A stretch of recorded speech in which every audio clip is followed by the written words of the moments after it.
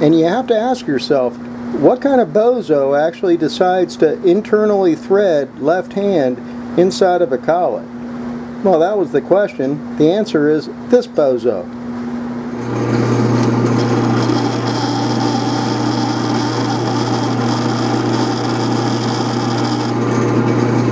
Hey everybody, welcome back to Making Something From Nothing. This is Richard.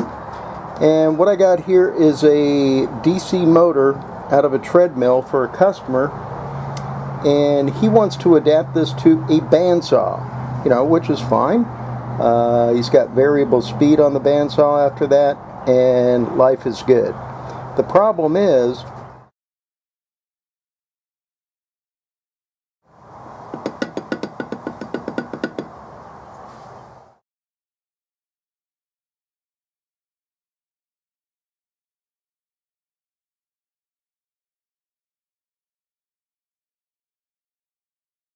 So this is the test bushing I made out of aluminum.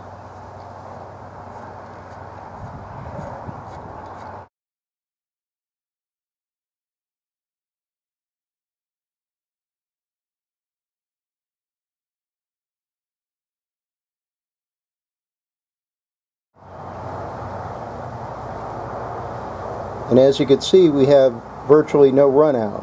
I didn't put an indicator on it or anything like that, but that's pretty tight.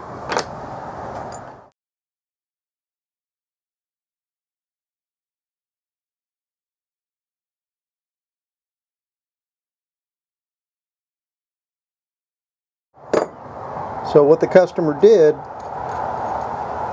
was he brought me back over another pulley.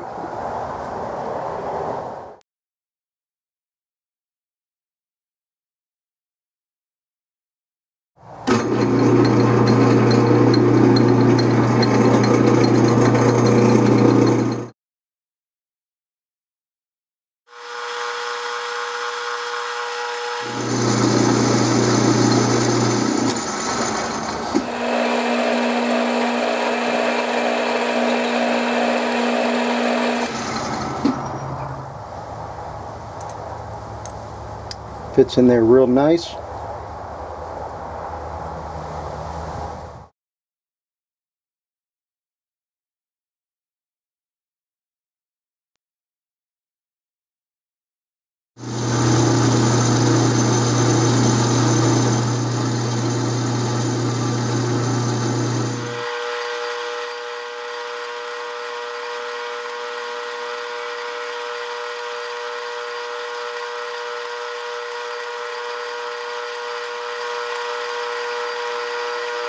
Well, the finish on the hole looks really good.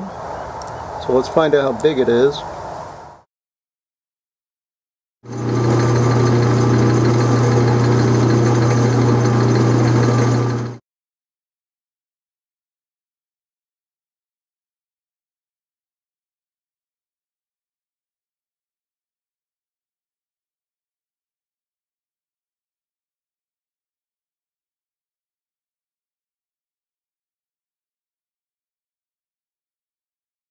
But I think we're good to go on the position of the tool.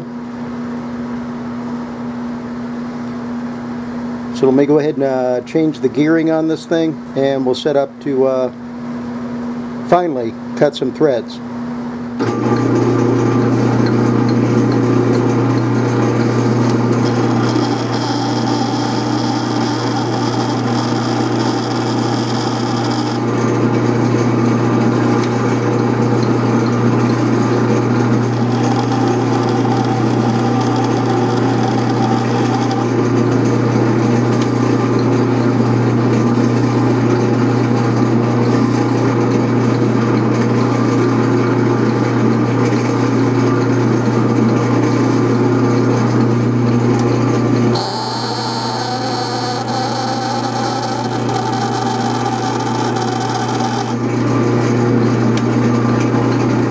looks good, but that doesn't tell me nothing.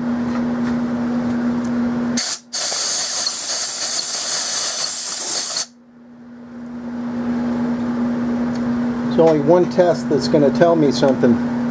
And now I kind of regret using the collet, but because before I was taking the chuck off the lathe and testing it on the motor. But if I do that with the collet, I'm never going to get it back in the same place. So, note to self, this was a bad idea.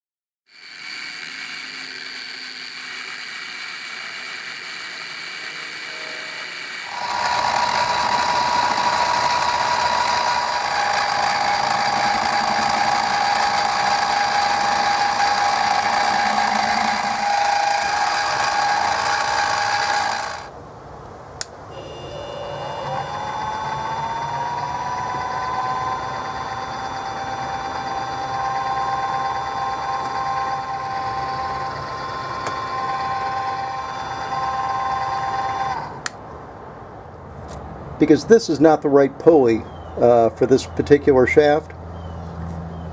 The threads on the shaft only come out to here. So this set screw that's on this pulley, it basically does nothing. So I told the customer I'm going to machine off this boss right here. We're basically going to machine all this off right up to here. So this way the entire pulley sitting on threads and we don't have this boss throwing this pulley off balance. So I'm going to take that over the lathe and we're going to machine that off and this job's done.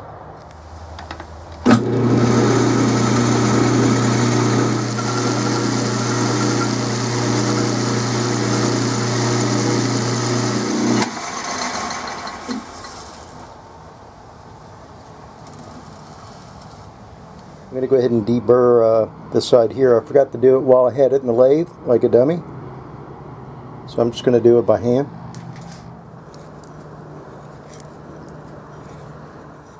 So now there's nothing else I can do until the customer comes over and puts the motor back together. Pound in a uh, 3 16 roll pin. And he's good to go.